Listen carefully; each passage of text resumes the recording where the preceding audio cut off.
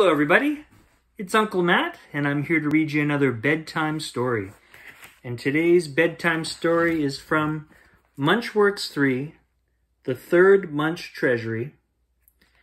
And the story today is called, get a little closer to the camera, A Promise is a Promise by Robert Munsch and Michael Kuselgak. Kuselgak. Illustrated by Ved Vladyana, Vladyana Krykorka.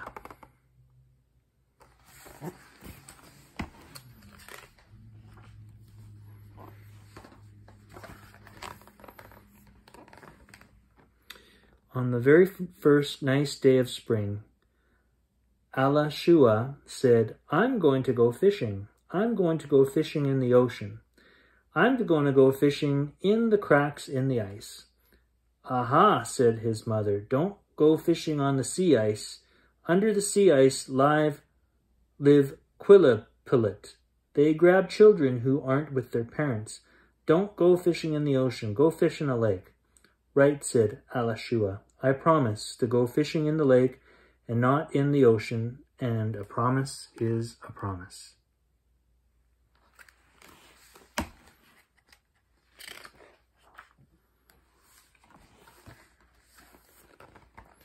So, Alashua set out like she was going to go to the lake near her house. But when she got to the end of the street, she didn't go to the lake. She walked down the long snowy path that led to the ocean. At the edge of the ocean were large cracks where the tide broke and jumbled the ice. Alashua looked very carefully and did not see any qallupilluit. She said, on TV, I have seen Santa Claus, fairy godmothers, and the Tooth Fairy, but never any qallupilluit. I think my mother is wrong.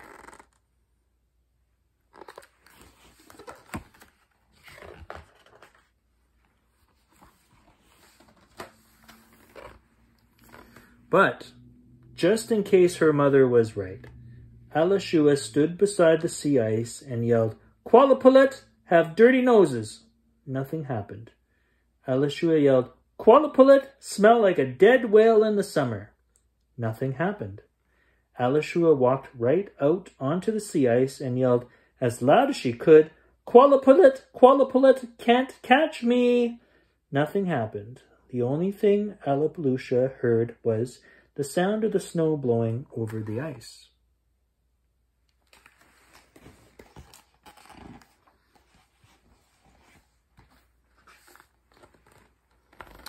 So, Alashua got out her line and her hook. She walked over to a large crack ice crack in the ice and started to fish. Right away, a fish grabbed the hook and Alashua pulled it up. She caught six fish in a row. Alashua yelled, I am the best fisherman in the world.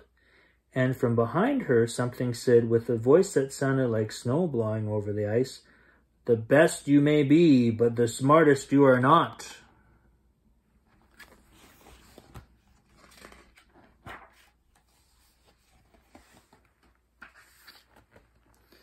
Alashua turned around. There between her and the shore were the Qallupilluit. They looked at her and said, Have you seen the child who said Qallupilluit have dirty noses? Oh no, Qallupilluit, I have seen no such child, and besides, your noses are very pretty. Have you seen the child who said, We smell like a dead whale in the summertime? Oh no, Qallupilluit, I have seen no such child, and besides, you smell very nice, just like flowers in the summer. Have you seen the child who yelled, Qallupilluit, Qallupilluit, can't catch me? Oh no, Qallupilluit, I have seen no such child, and besides, my mother says that you can catch whatever you want to. Right, said the Qallupilluit. We catch whatever we want to, and what we want to catch right now is you.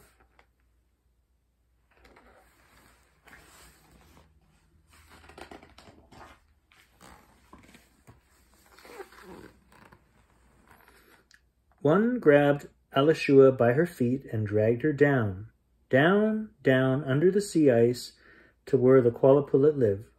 The sea water stung Alashua's face like fire. Alishua held her breath, and the Qallupilluit gathered around her and sang with voices that sounded like snow blowing over the ice. Human child, human child, ours to have, ours to hold. Forget your mother, forget your father, ours to hold under the ice.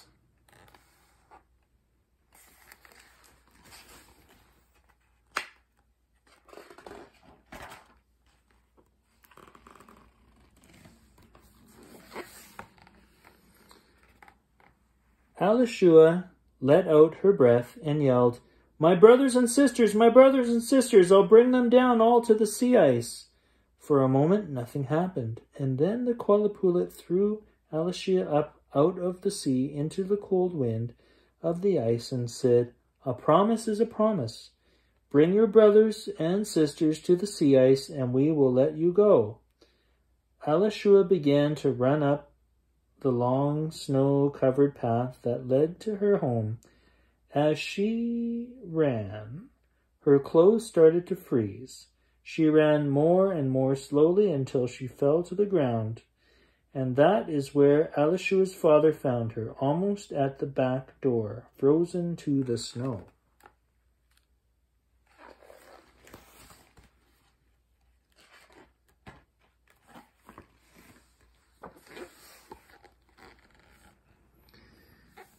Alishua's father gave a great yell, picked up Alishua, and carried her inside. He tore off Alishua's icy clothes and put her to bed. Then the father and mother got under the covers and hugged Alishua till she got warm. After an hour, Alishua asked for some hot tea. She drank ten cups of hot tea with lots of sugar and said, I went to the cracks in the sea ice. Aha, said her family, not so smart. I called the Qallupilluit nasty names. Ha ha, said her family, dumber still. I promised to take my brothers and sisters to the cracks in the sea ice. I promised to take them all to the Qallupilluit.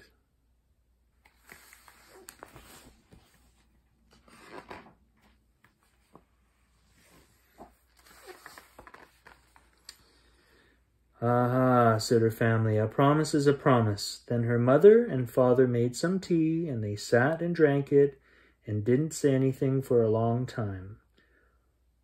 From far down the snow-covered path that led to the sea, the Qallupilluit began calling, A promise is a promise, a promise is a promise, a promise is a promise.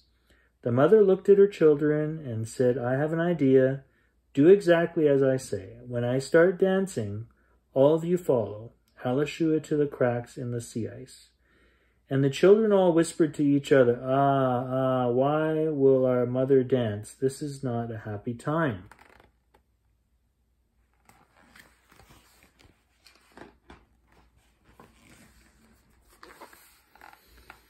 Alishua, Alishua's mother went out the back door and yelled, Qallupilluit, Qallupilluit, come and talk with me. And they did come, right up out of the cracks in the sea ice, up the long snow-covered path to the sea they came, and stood by the back door. It was a most strange thing, for never before had the Qallupilluit left the ocean. The mother and father cried and yelled and asked for their children back, but the Qallupilluit said, A promise is a promise. The mother and the father begged and pleaded and asked for their children back, but the Qallupilluit said, A promise is a promise. Finally, Alishua's mother said, Qallupilluit, you have hearts of ice, but a promise is a promise.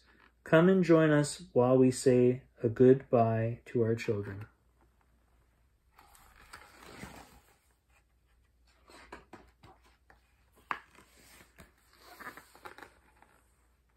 Everyone went inside. First the mother gave her children some bread. She said to the Qallupilluit, This is not for you, but the Qallupilluit said, we want some too. The mother gave the Qallupilluit some bread, and they liked it a lot. Then the mother gave each of her children a piece of candy. She said to the Qallupilluit, this is not for you. But the Qallupilluit said, we want some too. The mother gave the Qallupilluit some candy, and they liked it a lot.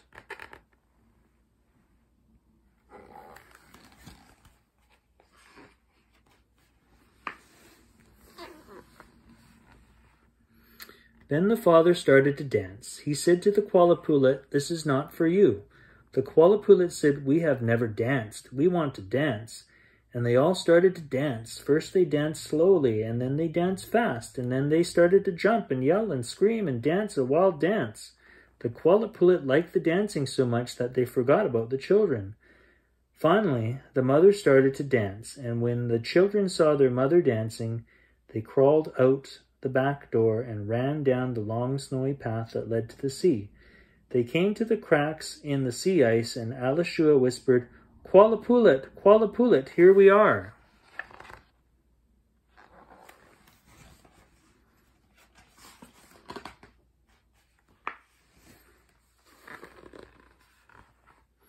Nothing happened. Then all the children said, Qallupilluit, Qallupilluit, here we are. Nothing happened. Then all the children yelled as loud as they could, Qallupilluit, Qallupilluit, here we are. Nothing happened and they all went back to the land and sat on a large rock by the beach. Two minutes later, the Qallupilluit ran screaming down the path and jumped into the cracks in the ice. Alishua stood up on the rock and said, A promise is what you were given, and a promise is what you got. I brought my brothers and sisters to the sea ice, but you were not here. A promise is a promise.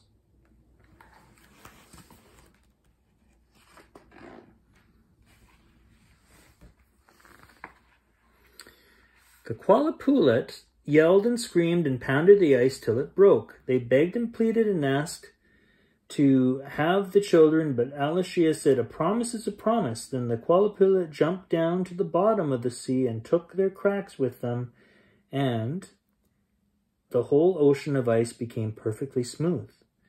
Then the mother and father came walking down this long snowy path to the ocean.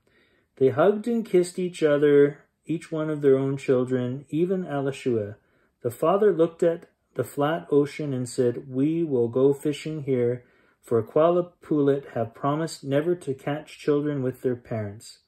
And a promise is a promise. Then they all did go fishing quite happily, except for Alishua. She had been too close to the Qallupilluit and could still hear them singing, with their voices that sounded like blowing snow. Human child, human child, ours to have, ours to hold. Forget your mother, forget your brother, ours to hold under the ice. The end.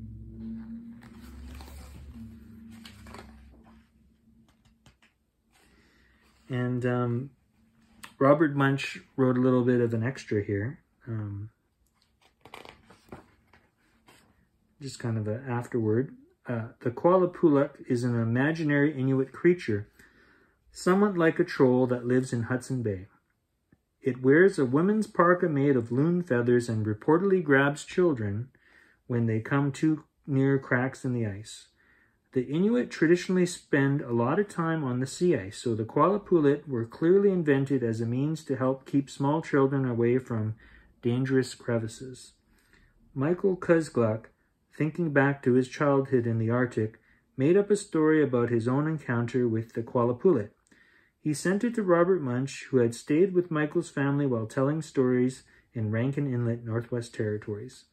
A promise is a promise is a result of their collaboration. And that's all the time we have for Uncle Matt's bedtime story. I hope you enjoyed that one, and I'll see you next time. Bye for now.